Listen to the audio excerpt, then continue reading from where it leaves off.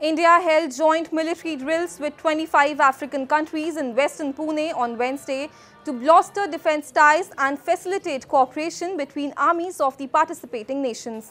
The exercise took place on the sidelines of the premiere of the India-Africa Army Chiefs Conclave. African and Indian soldiers were seen participating in gun drills and mock scenarios of closing in on enemies. The exercise comes as a part of initiatives taken towards maritime security, peacekeeping and counter-insurgency operations between India and the African countries.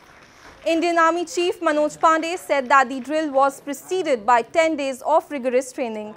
Uh, asked the Indian government uh, through uh, the chief of the army for having uh, given us this opportunity to come and share uh, our experiences, also analyze the security, you know, the, the complex security, environment and threats uh, which uh, face us globally.